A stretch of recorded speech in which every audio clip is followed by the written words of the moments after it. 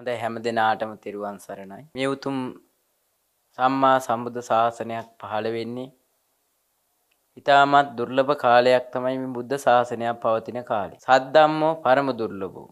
බුදු පියාණන් වහන්සේලා දේශනා කරනවා මේ සද්ධර්මයේ පරම දුර්ලභයි කියලා. එතකොට එන අපිට රැකවන්නයක් ලැබෙන එකම දේ තමයි බුදු පියාණන් වහන්සේ පෙන්නපු මේ බුද්ධ රත්නය. එහෙනම් ධර්ම රත්නේ සංඝ රත්නේ. මේ කියන්නේ ත්‍රිවිධ රත්නේ තමයි අපිට තියෙන එකම රැකවන්නේ. එහෙනම් බලන්න ඕනේ දැන් අපි මේ කාලේ බැලුවාම බොහෝ දෙනෙකුට විතරක් නෙමෙයි මේ මුළු ලෝකේ බැලුවොත් එහෙම ගොඩාක් රටවල් වලට මේ කාලේ වෙනකොට ඒ කොරෝනා කියන වෛරසය බොහෝ දුරට පැතිරෙනවා. ඒතර වෛරසයක් කියන්නේ මොකද්ද? අන්න අපි බලන්න. දැන් අපි හිතනවා. දැන් හැම කෙනෙක්ම හිතනවා. හැම කෙනෙක්ම කියනවා කරනවා. මේ හිතන කියන කරණේවා මුල් කරගනිමින් මොකද කරන්නේ? දැන් යමක් බුදු පියාණන් වහන්සේ පෙන්නනවා යමක් ගොඩ නැගෙන්න නම්. හේතු සහිතවයි ගොඩ නැගෙන්නේ. යම් දවසක හේතු නිරෝධ කරොත් අන්නේ ප්‍රතිඵලයේ නිරෝධ වෙනවා. එහෙනම් බලන්න ඕනේ අපි මේ වෛරසය කියන්නේ. එහෙනම් වෛරය වෛරී අදහස් කියනවා. දැන් වෛරී අදහස් කියන්නේ කොහොම ඒවද? කෙනෙකුට ගහනවා නම් බයිනවා නම් හිංහිංසා කරනවා නම් තව කෙනෙක්ගෙන් පරිගන්න මානසිකත්වයක් නම් අනික් කෙනාට වැඩිය තමන් නැගී සිටින්න කැමති නම් අනිත් අයව පාගලා දාලා අනිත් අයව තල්ලපෙල්ල දාලා ඒ අයත් එක්ක විරුද්ධ වෙලා වෛරී අදහස් වලින් පරිගන්න අදහස් වලින් කටයුතු කරනවා නම් අන්නේ කටයුතු කරන්න ගියාම ඒ જાති ඒවා තමයි වෛරී අදහස් කියන්නේ.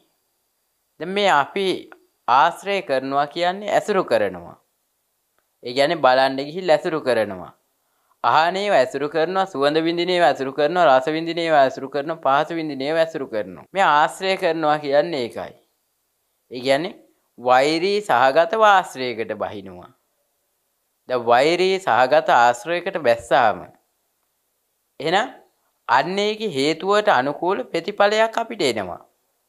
ඒ ප්‍රතිඵලයේද කියනවා අදත් කියනවා මොනවද? වෛරස්. වෛරස් හැදෙන්නේ අපිම ගොඩනගපු ශක්තියෙන්. ඒ කියන්නේ මිනිස්යාම ගොඩනගපු ශක්තියක් තමයි. දැන් හැබැයි සත්තු ඉන්නවා තිරිසන් සත්තු. හැබැයි තිරිසන් සත්තු නම් ඒ ඒගොල්ලොන්ට අලුත් දේවල් හිතන්න කියන්න කරන්න හැකියාව එහෙම දෙයක් නැහැ. ඒ සත්තු මොකක් කරනවද? අන්නේ සත්තු විපාකයේ මූලික කරගෙනයි කටයුතු කරන්නේ. සත්තුන්ගේ ස්වභාව විපාක මූලික වෙලා කටයුතු කරන්නේ. හැබැයි මනුස්සය කියන්නේ එහෙමයි නෙමෙයි සංකාර මූලිකයි. ඒ කියන්නේ අලුත් දේවල් හිතන්න කියන්න කරන්න හැකියාවක් තියෙන එකම තාලේ තමයි මේ මනුස්ස තාලේ මනුස්ස ලෝකේ. ලෝකේ මිනිස්සුන්ට විතරයි අලුත් දේවල් පිළිබඳව හිතන්න කියන්න කරන්න හැකියාවක් පහළ වෙන්නේ. එන හිතලා කියලා කරලා යම්කිසි වෙනසක් කරන්න. මේ මනුස්සෝ ඉන්න අයට එහෙම පුළුවන්. එහෙනම් මනුස්සයෝම තමයි මේ සුචරිතවත්ව තිබිච්ච වැඩපිළිවෙල ඒ ಗುಣධර්මයන්ග තිබිච්ච වැඩපිළිවෙල නැති කරගෙන කටයුතු කරගෙන ආවි. ලෝක ආරම්භයේ පටන් එන මේ ගමනේ ඉස්සර මිනිස්සුන්ට ලෙඩ කියලා තිබුණේ නැහැ. ඒ කියන්නේ ලෙඩක් හැටියට මේ જાතිය ලෙඩ රෝග ඒවා තිබුණේ. වෛරස් තිබුණේ, පිළිකා තිබුණේ, වසංගත තිබුණේ. ওই જાතිය ලෙඩ රෝග තිබුණේ. හැබැයි එහෙම නැතුව මේ මිනිස්සුන්ට ලෙඩ රෝග හැදෙන්න පටන් ගත්තා. හැබැයි මෙන්න මේ ලෙඩ රෝග හැදෙන්න මුල ආරම්භයේ පටන් ගත්තේ කොතනින්ද? එක්තරා කාලෙකදී මේ ඔක්කාර කියලා රජ කෙනෙක් පහළ වෙනවා. ඒ වෙනකම් මිනිස්සු තරහ අරගෙන තව කෙනෙක්ව දූෂ්‍ය මට්ටමට දාලා මරන්න තරම් මානසිකත්වයක් එච්චර දූෂ්‍ය මට්ටමම මිනිස්සුන්ට හටගෙන තිබුණේ නැහැ. ඒ කියන්නේ අන්‍යෝන්‍ය සුවදතාවයෙන් අනිත් අයට කරුණාවෙන් මෛත්‍රියෙන් සලකගෙන අන්හෙම කටයුතු කරපු කාලයක් තිබුණා. ඒ කාලෙදී එහෙම මිනිස්සු ඒ தත්වෙට බැහැගෙන තිබුණේ ඒ தත්වෙට බැහැගෙන තිබුණ නැති නිසා එහෙම සත්තු මරලා ඒ જાතිය වගේ ගන්න කටයුතු කරන්න තරම් එහෙම જાතියෙන් පෝෂණය වෙන්න තරම් අවශ්‍යතාවයක් එහෙම එකක් තිබුණෙත් නැහැ. එතකොට ඒ මිනිස්යාගේ ශක්තියෙන් තමයි ඒ ගොඩනගපු ශක්තිය මුල් කරගෙන තමයි ලෝකේ යම ගොඩනැගිලා තියෙන්නේ. ස කියන්නේ තමා. තමාගෙන් අහක් වෙලා ඒ ශක්තිය අහක් වෙලා ගියාම අන්න ඒකට කියනවා විශ්ව. තමාගෙන් අහක් වෙච්ච ශක්තිය තමයි බාහිරට ගියේ. ඒ වගේන් තමයි අර ගස් කොළන් ඒ සියලු දේම හැදිලා කටයුතු කරලා තියෙන්නේ. එහෙනම් බලන්න ඕනේ. දැන් මෙන්න මෙහෙම තියෙන ලෝකයක. එහෙනම් ඔන්න ඔය ඔක්කාර කියන රජ්ජුරුවන්ගේ කාලේ වෙනකොට. මිනිස්යන්ට ඒ කාලේ වෙනකොට ලෙඩක් කියලා තිබුණේ බඩගින්න තිබුණා. එතකොට පිපාසය තිබුණා. වයසට ගිහිල්ලා මැරෙන එක තිබුණා. අමතර ලෙඩ කියන ඒවා තිබුණේ නෑ. එහෙනම් අර ඔක්කාර රජ්ජුරුවන්ගේ කාලෙදී ගවයන්ගෙන් කිරි ගත්ත කාලේ. එතකොට මේ ගවයන්ගෙන් කිරි ගන්න කිරි මෙච්චර රහනම් ගවයන්ගේ මස් කොච්චර රහයක්ද කියලා අදහසක් අරගෙන අන්නේ පුරෝහිත පිරිස. රජ්ජුරුවන්ට කියනවා මංගල ගවයා මරලා. වෙන්න මේ මහා ඒ කාලේ හැටියට මේ යාග පූජා එහෙම තමයි කියන්නේ. මේ දානය අද දානයක් දෙනවා කියන එකට ඒ කාලේ කිව්වේ යාග පූජා හෝම් පූජා කියලා. එතකොට ඔන්න ඔය යාග හෝම් පූජාවක් කරන්න කටයුතු කරන්න අන්න එහෙම ඒගොල්ලෝ පුරෝහිත පිරිසගේ අදහසට අනුකූලව රජුරෝ කැමති වෙනවා. ඊට පස්සේ මොකද කරන්නේ? ඔක්කොටම අර මහා යාගයක් පවත්වනවා කියලා. මංගල ගවය ඇතුළු තවත් ගවයන් ගණනාවක් මරලා මේ රටවැසියන්ට අඬබෙර ගහලා ඒ කාලේ එහෙමයි දැනුම් දුන්නේ. මෙන්න මේ අඬබෙර ගහලා ඔක්කොම කරලා මොකද කරන්නේ? රටවැසියන්ට එහෙම දානයක් දුන්න මේ ගව මාස් වලින්. එතකොට මෙන්න මේකේ විපාකයේ මුල් කරගෙන යම් කිසි තැනක අපි පාපයකට බහිනවා නම් පාපයකට බැහැලා කටයුතු කරනවා නම් ඉස්තරවම අපේ අඩු වෙන්න ඕන එකක් තියෙනවා. මේ ලයාන්විත භාවය. ලය කියන්නේ හදවත ඇසුරු කරගෙන කටයුතු කරන ස්වභාවය තමයි ලය කියන්නේ. එතකොට අන්නේ ලයේ ස්වභාවයට අනුකූලව තමයි ලේ හටගන්නේ. එතකොට ලයේ ස්වභාවය පූර්ණව තියෙනවා නම් ලේවල ශක්තිය පූර්ණයි. එතකොට ලයාන්විත භාවය අන්න මොකක් වෙනවද? දැන් හිත තුල තියෙන කරුණා මෛත්‍රිය. ඒක අඩු වෙන්න පටන් ගන්නවා. මෙන්න මේ හිත තුල තියෙන කරුණා මෛත්‍රිය අඩු වෙන්න පටන් ගත්ත නිසාම ලෙඩ වෙන්න පටන් ගන්නවා. එතකොට ලයාන්විතභාවය අඩු නිසා ලෙඩ වෙනවා. ওই ලයාන්විතභාවය අඩු වෙලා තවත් බලවත් වෙනකොට මොකද කරන්නේ? කරුණාව මෛත්‍රිය අඩු වෙලා දැන් සතෙක් කවදාකවත් මරන්න බෑ කරුණා මෛත්‍රියකින්. එහෙනම් ලයාන්විත භාවය අඩු වෙලා තමයි සත්තු මරන්නේ. හරක් මරන්න පටන් ගත්තේ ඔතනදී. ඔන්න ඕක මුල් කරගනිමි. රෞද්‍ර ගතියකුත් ගන්න ඕනේ. දැන් අපි කියනවා මේ රෞද්‍ර ගතිය කියන්නේ මේ දේශේ මුල් කරගනිමින් ගන්නා වූ ගතිය. ඒතර ඔන්න ඔය රෞද්‍ර ගතියක් ආවහම රෞද්‍ර ස්වභාවය නිසා මොකද කරන්නේ? රෞද්‍ර ස්වභාවය අග්‍ර කරනවා කියන්නේ යමක පළවෙනි කරනවා. එතකොට රෞද්‍ර ගතිය අග්‍ර කරගත්ත නිසාම රෝග හැදෙනවා. එතකොට ලයාන්විතභාවය අඩු වෙලා රෞද්‍ර ගතිය වැඩි වුණාම එතකොට රෞද්‍ර ගතියෙන් කටයුතු කරන්න පටන් ගත්තාම ලෙඩ රෝග හැදෙනවා. එතකොට ලෙඩ රෝග වලට මුල කොතනද? පටන් ගන්න තැන තමයි ලයාන්විතභාවය අඩු වෙලා කරුණාව මෛත්‍රිය නැති වෙන තැන තමයි ලෙඩ රෝගවලගේ මූලේ. මුල පටන් ගන්න ඔතනදී. එතකොට ඔන්න ඔතනින් පටන් ගත්තාම 890ක් රෝගවලට, ඒ කියන්නේ 98ක් රෝගවලට මුල පටන් ගත්තේ එතනදී. හැබැයි මෙන්න මේ මෙතනින් මුල පටන් ගත්තා වුණාට ඊට පස්සේ මිනිස්සු ඒ වැඩපිළිවෙල තව කෙනෙකුට ගහන, බයින, හිංගි හිංසා කරන, නිന്ദාපාස කරන ඔන්න ඔය මානසිකත්වයේ තුල ඉඳලා කටයුතු කරන්න කරන්න මිනිස්යන්ට ලෙඩ රෝග වැළඳෙන්න හැදෙන්න පටන් ගන්නවා. එතන ඉඳලා මිනිස්සුන්ට ලෙඩ රෝග හැදෙන්න පටන් ගන්නවා. වෛද්‍යවරු දැන් අපිට ලෙඩක් කිව්වොත් දැන් අපි මේ කාලේ උණ රෝගේ ගත්තොත් වෛරස් හරි නැත්තම් වෛරස් උණක් වේවා නැත්තම් මොන හරි උණක් අපි ගත්තොත් නැත්තම් මොන හරි වෙන ලෙඩක් හරි හොයා ගන්න ගියාම අපි අදත් කියන්නේ වෛද්‍යවරු බල්ලා මොකද කියන්නේ? අන්න ලේ පරීක්ෂාවක් කරන්න කියනවා.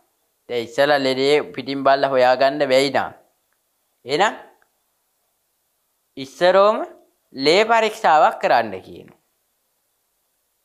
පිටින් එකක් දෙකක් කරලා බැලුවා වැඩේ හරියන්නේ නැත්නම් එහෙම ලේ පරීක්ෂාවක් කරලා තමයි ඊළඟට බෙහෙත් කරන්න ඕනේ කියන්නේ. එහෙනම් ලේවලගේ තමයි අපේ කරුණාව මෛත්‍රිය නැති වුණේ කී ශක්තිය පිහිටලා තියෙන්නේ. සමහරක් වෙලාවට හොයලා බැලුවොත් එහෙම අපිට ලෙඩක් හොයාගන්න. අපි වෙන එකකට පරීක්ෂණ කරාම සමහරක් වෙලාවට වෙන ලෙඩක් අහු වෙන වෙලාවලුත් තියෙනවා. ඒ කියන්නේ මෙන්න මේ එහෙනම් ඒ ලේවලගේ තමයි පූර්ණව ශක්තිය තියෙන්න ඕනේ කරුණාව මෛත්‍රිය නැති වුණ එකේ විපාකේ. එහෙනම් කරුණාවෙන් මෛත්‍රියෙන් අපි කටයුතු කරන්න ඕනේ. එහෙනම් කරුණාවෙන් මෛත්‍රියෙන් කටයුතු කරනකොට ලේවලගේ අඩු වෙච්ච ශක්තිය නැවත ගොඩනගෙන්න පටන් ගන්නවා. අන්න එහෙම ගොඩනගෙන්න පටන් ගන්නකොට මොකද කරන්නේ? ලේ පූර්ණව හැදෙනවා. එහෙනම් ලය පූර්ණ වෙනවා. ලයේ ස්වභාවය පිරෙන්න පටන් ගන්නවා. එතකොට ලේවල අඩුවීම වෙන්නේ නැති වෙනකොට ලේවලගේ අවශ්‍ය කරන්නා ඒ සියලු ආකාරයේ පෝෂණයන් ඒවා තියෙනවා නම් ලෙඩක් නැහැ. ලේබල්ල තමයි ලෙඩක් තියෙනවද නැද්ද කියලා තීරණය කරන්නේ. එහෙනම් ලේවලගේ පිහිටියේ ශක්තිය මොකද්ද? හදවතේ තිබුණු කරුණාව, මෛත්‍රී, ලයන්විත භාවී ශක්තියයි. එහෙනම් අපිත් අදත් මොකද කරන්න ඕනේ? ලෙඩේට බෙහෙතක් එහෙනම් අන්න අපි එහෙනම් ලෙඩේට බෙහෙත නියමාකාරයෙන් බෙහෙත නම් මොකද්ද?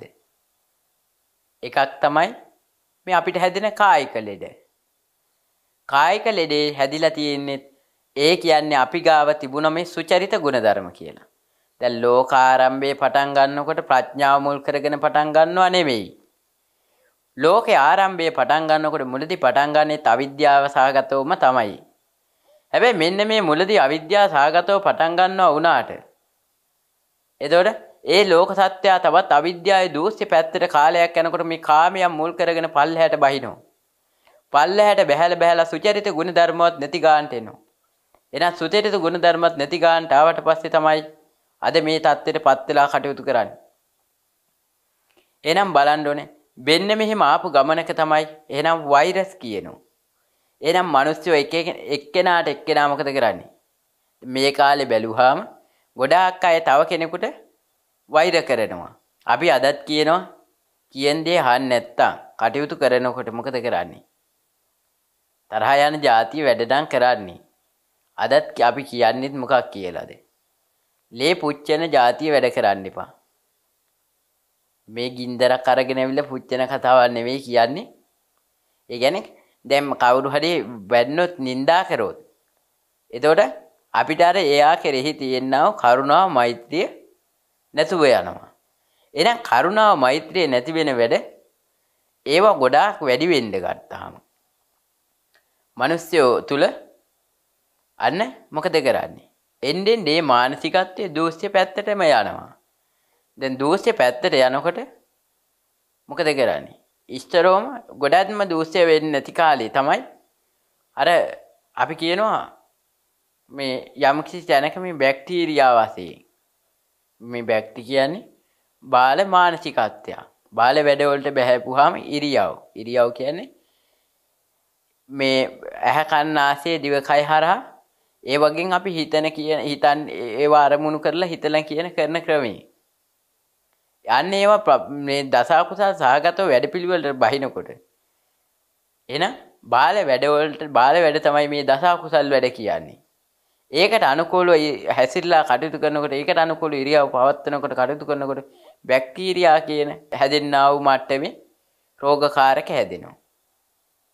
හැබැයි ඊටත් වැඩිය සියුම් ඒ කියන්නේ ඊටත් වැඩිය දූෂ්‍යව කටයුතු කරපු එකක් තමයි කටයුතු කරන්න ගියාම තමයි කෙනෙක්ගෙන් අනික් කෙනා විනාශ කරලා හරි Tamanට ඕන දේ කරනවා මට ඕන දේ කරනවා කියන තැනට එන්නේ. අන්න එතනට එනකොට වෛරය මුල් කරගෙනයි එන්නේ. එහෙනම් වෛරය මුල් කරගෙන ආපු නිසා අන්න එහෙනම් වෛරසේ වෛරය ආශ්‍රය කරනවා. ආශ්‍රය කරනවා කියන්නේ ඇසුරු කරනවා. එහෙනම් වෛරය ආශ්‍රය කරපු නිසා අපිට වෛරස් එනවා. එහෙනම් වෛරයෙන් කරපු ඒවට අපි ඊළඟට අපිට ගෙවන්න තියෙන ක්‍රමයක් තියෙනවා. හැබැයි මේ ක්‍රමවේදේ අලුත් දේවල් හිතන්න කියන්න කරන්න හැකියාවක් තියෙන මිනිස්සුන්ට විතරයි හැබැයි මේක කරන්න පුළුවන්. එහෙනම් මිනිස්සුන්ට පුළුවන් දැන් මිනිස්සුවම තමයි වැරදි විදිහට හිතන්න කියන්න කරන්න ගිහලා මේ මට්ටමට වෛරස් එන මට්ටමට කටයුතු කරලා පරිසරය හදලා තියෙන්නේ. ඒ කියන්නේ අනන්තරයේ තිබුණ සමානන්තරයේ හදුවාම අනන්තරයේ අපි දුන්න ශක්තිය අපිටම ඇදිලා එනවා. හැබැයි දැන් මේක අපි හැම කෙනෙක්ම ගොඩාක් වෙලාවට අර බුදුපියාණන් වහන්සේ එක අවස්ථාවක පෙන්නනවා මේ බුදුපියාණන් වහන්සේටත් එක්තර අවස්ථාවක අර නින්දා අපහාස ලබන්ඩුන අවස්ථාවක් තියෙනවා. හැබැයි මේ නින්දාපාස ලබන්ඩුනේ ඒකේ විපාකෙත් උන්වහන්සේ පෙන්නනවා. මොකද? උන්වහන්සේ විපාකේ පෙන්නනවා මේ 500ක් භික්ෂුන් වහන්සේලා එක්ක වස් ආරාධනා කරාට පස්සේ උන්වහන්සේට දානෙ දෙන්න අමතක වෙනවා බුදු පියාණන් වහන්සේටයි අර 500ක් භික්ෂුන් වහන්සේලාටයි දානෙ දෙන්න අමතක වෙන වස් ආරාධනා කළා. එතකොට බුදු පියාණන් වහන්සේ පෙන්නනවා ඒකේ විපාකේ මොකද්ද? ඒක කාලෙකදී බුදු පියාණන් වහන්සේ ඒ බෝසත් පාරමිතා පුරාගෙන යනකොට ආචාර්යවරයෙක් වෙලා ඉන්නවා. මේ ආචාර්යවරයෙක් වෙලා ඉන්න කාලේ උගන්වනවා. එතකොට ශිෂ්‍යයෝ 500ක් ඒ ගුරුවරයා යටතේ ඉන්නවා. මේ ශිෂ්‍යයෝ 500ට අර ගුරුවරයා කියනවා තවුස් දිවියක හිටපු කෙනෙක් හම්බෙනවා. ඒ තවුස් දිවියක තාපස කෙනෙක්. එතකොට අන්නේ කට්ටිය ඒ තව දිවියේ ඉඳලා කටයුතු කරන කෙනා. ඔය බොරුවක් කරන්නේ. ඔය කාමයේ මුල් කරගනිමින් ඔය જાතියව විඳ විඳා එහෙම කටයුතු කරන්නේ. එහෙම කියලා අර අපවාද කරපු එක විපාකේ ඒකට හේතුවේ ඵලයේ හැටියට මොකද කරන්නේ? අර අපවාද ලබනද ඒ જાතියව මුල් කරගෙන එහෙමත් හේතු වෙනවා. ඒ කියන්නේ එකතු වෙලා කරපු එක විපාක එකතු වෙලා විඳින්න සිද්ධ වෙනවා. ඉතින් ඒක හින්දා ඒ තාපසතුමාට කණ්ඩ නැති වුණා. ඒ කියන්නේ ආචාර්යවරයා ඇතුළු ඒ 500ක් ශිෂ්‍යයන්ට මේක කිව්වා. ඒ 500 ගිහිල්ලා ගමේ ඒ කටයුතු කරපු අයට කිව්ව හින්දා ඒ තාපසතුමාට අර ගමෙන් කන්ද හම්බුන්නේ. ඒකේ විපාකයේ හැටියටයි අර 500කටම එකපාර ආහාර නැති වෙන්න හේතුුනේ. ඒ තුන් මාසය තුල හැම සිද්ධ වුණේ ඒකේ විපාක හැටියට. ඒ වගේ තමයි දැන් අද අපි මේ මනුස්ස වෙලා ජීවත් වෙලා කටයුතු කරනකොට. එතකොට අපි හැම කෙනෙක්ම අනන්ත සංසාරේ කරපු කර්ම වේගයන් තියෙනවා. එනම් ඒ කරපු කර්ම වේගයන් අපිට ඇදිලා එන්න සමනන්තරේ හැදුවාම අපිට ඇදිලා එනවා. අපිට පුළුවන් තරමක් බේරෙන්න තියෙන එකම ක්‍රමවේදය තමා මේකට සමනන්තරේ හදන්නේ නැතුව කටයුතු කරගන්න එක. මොකද නැත්තම් අපි සමනන්තරේ හැදුවොත් එහෙමනම් අන්න අර කරපු කර්ම වේගයන් අපිට නැවත ඇදිලා එනවා. නැවත ඇදිලා આવොත් අපිට ඒක මුල් කරගෙන මොකද වෙන්නේ? ඒක මුල් කරගෙන අය ලෙඩ රෝග හැදෙනවා. හැබැයි මේක නවතින්නේ නැතුව යනවා මොකක් කරොත්ද? අපි තුල ගොඩනගා ගන්නා මානසිකත්වයයි උතන පෙන්වන්නේ කටයුතු කරන්නේ. අපි උදාහරණයක් හැටියට අරගෙන බැලුවොත් එහෙම. එහෙනම් අපි තුල ගොඩනගා ගන්නා මානසිකත්වය තුල තමයි එහෙනම් මේ සියල්ල සිද්ධ වෙන්නේ. යහපත් මානසිකත්වයකින් කටයුතු කරවම යහපත වෙනවා. එහෙනම් අයහපත් මානසිකත්වයකින් කටයුතු කරපු නිසා අයහපත වෙනවා. එහෙනම් දැන් අපි අන්න අපි ගාව තිබිච්ච සුතරිත ගුණධර්ම නැති හේක විපාක තමයි අපිට ලෙඩ රෝග එන්නේ. එහෙනම් ලෙඩ රෝග වලට කරන්න තියෙන එකම ප්‍රතිකාරමය මොකද්ද? වෛරස් අයින් කරන්න. එහෙනම් වෛරස් වැඩි වෛරසේ ගොඩාක් පැතිරෙනවා. වෛරය ආශ්‍රය කරන අදහස් පැතිරෙනකොට දැන් අපි බැලුවොත් එහෙම අපි ගොඩාක් කලාවට මානගාත දත්තාදාන කාමීච්ඡාචාර බොරු කේලම් පරස වචන පලාප ලෝභ තරහා මෝඩ කියන්නා දෝෂ්‍ය මානසිකත්වයට ගිහිල්ලා. එහෙනම් අන්න එකෙන් කටයුතු කරනකොට මොකද කරන්නේ? ඒකෙන් අපි බහැලා කටයුතු කරගන්නකොට වෛරී අදහස් නිසා තමයි කටයුතු කරන්න යන්නේ. එහෙනම් වෛරයෙන් ගහගන්න යනවා බැනගන්න යනවා රණ්ඩු කරගන්න යනවා. අන්නේ වෛරය ආශ්‍රය කරගෙන කටයුතු කරගන්න ගිහිල්ලා තමයි අද අපිට ওই தത്വෙටපත් වෙන්න සිද්ධ වෙලා තියෙන්නේ. එහෙනම් දැන් අපි ওই වැඩපිළිවෙල මොකක් කරන්න ඕනද?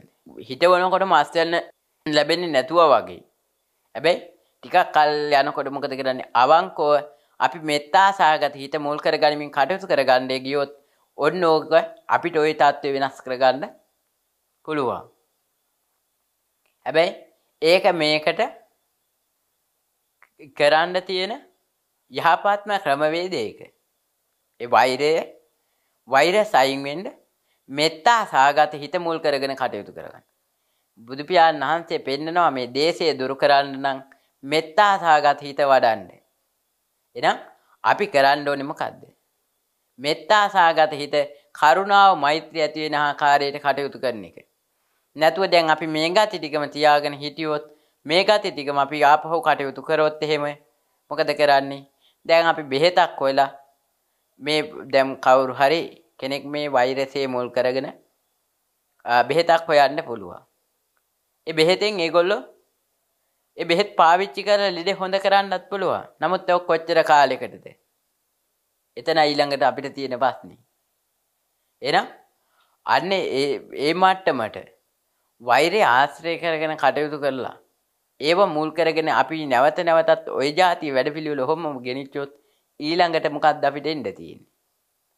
එහෙම වුණොත් අපිට ආය වෛරස් එනවා. දැන් මේ මනුස්ස ලෝකේ මේ සුගතිය ඉඳලා එන වෛරස්. හැබැයි දුගතියට ගියොත් එහෙම ඔයිටත් වැඩි අන්ත අසරණයි නේද? එහෙනම් අපිට හම්බෙලා තියෙනවා දුර්ලභ අවස්ථාවක්. දුර්ලභ මොහොතක් මේ බුද්ධ ශාසනය ඇසුරු කරලා කටයුතු කරගන්න පුළුවන් අවස්ථාවක්. එහෙනම් වෛරයෙන් මිදෙන්න තියෙන මගක් අනුගමනය කරන්න පුළුවන් අවස්ථාවක්. එහෙනම් අපි කටයුතු කරන්න ඕනේ මොකෙන් මිදෙන්නද? වෛරයෙන් මිදෙන්න. එහෙනම් වෛරයෙන් මිදෙන්න කටයුතු කරගන්න පටන් ගන්න ඕනේ. එතකොට නම් මොකද කරන්නේ? එහෙම නැතුව අපි හිතමුකෝ දැන් අපි උදාහරණයක් හැටියට ගංගාවක් ගලාගෙන යනවා. අපි ගංගාව හරස් කරලා මොනවා හරි ලොකුවට පුළුවන් ඇටියෙද. මොකද කරන්නේ වේල්ලක් වගේ අර ගම් පහලට ගලන ගඟ අර බැම්මක් දාලා වේල්ලක් වෙන් කරලා බඳිනවා. හැබැයි ඒක වෙන් කරලා පල්හැට යන්න නැතුව බැන්දට ඒකෙන් වතුර පිරලා පිරලා දරන්න පුළුවන් මට්ටමක් එනවා. ඒ දරන්න පුළුවන් මට්ටමට ආවට පස්සේ මොකද කරන්නේ? එතනින් එහාට ඒක දරන්න නැතුව යනවා. දරන්න නැතුව යනකොට ඒක කඩාගෙන යනවා. ඒක කඩාගෙන යනකොට පැත්ත පලාතා විනාශ කරගෙන යන්නේ. එහෙනම් ඊළඟට එන වෛරසය මීට වැඩිය දරුණු වෙනවා අපේ මානසිකත්වයේ හැදුනේ නැති වුණොත්. හැබැයි මේක එක්කෙනෙක් දෙන්නෙක් නෙමෙයි වැඩි පිරිසක් එකතු වෙලා කරොත් එහෙම ගොඩක් අය එකතු වෙලා යහපත් අන්‍යෝන්‍ය වශයෙන් අනිත් අයට උදව් උපකාර කරලා යහපත කරනවා කියන තැන ඉඳලා කටයුතු කරනවා නම් අන්න ඒ අයට ඒ මානසිකත්වයේ තුල එහෙම කටයුතු කරනකොට අප්‍රමාණ යහපතක් අප්‍රමාණ යහපතක් කියන්නේ මේ ලෝකේ වශයෙන් යහපතක් වෙනවා.